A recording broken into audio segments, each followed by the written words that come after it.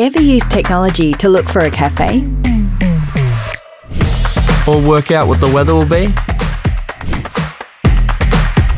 How about looking for your next holiday destination? Could we use the same information to help monitor deforestation?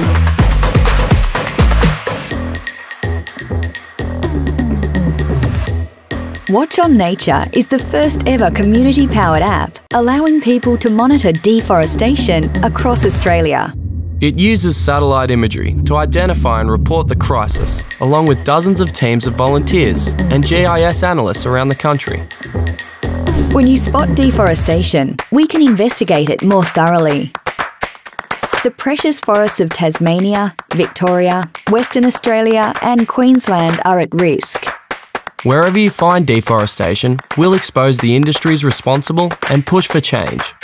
We can bring Australia's deforestation crisis to light. Your work will directly help the Wilderness Society drive action from state and federal governments and big businesses to stop deforestation. Support the Wilderness Society so we can continue to support the life that supports us all.